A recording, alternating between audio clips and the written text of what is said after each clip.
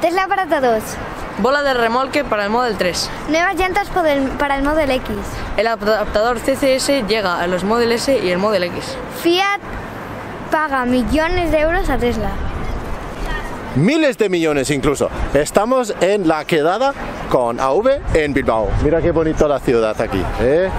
Aquí con el Guggenheim y las esculturas aquí. Mira qué bonito. ¿Os gusta la ciudad, chicos? Sí.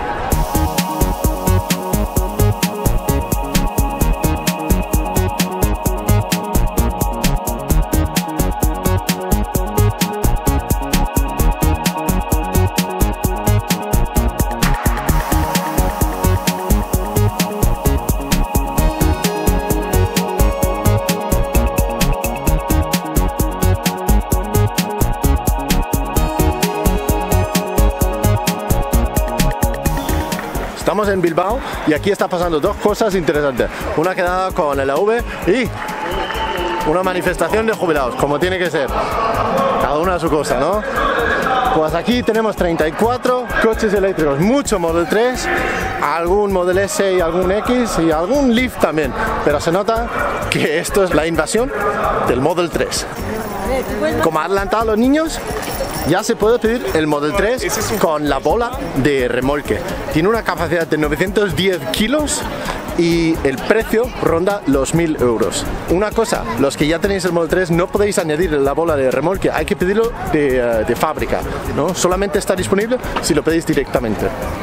Curiosamente, solo está disponible en Europa. En Estados Unidos no pueden todavía montar la bola de remolque para el Model 3. Ajá por una vez nos toca algo a nosotros y no a ellos. Tesla ha lanzado una serie de llantas nuevas para el Model X. Es la primera vez que lanzan llantas nuevas en meses, en años quizás, para el Model X.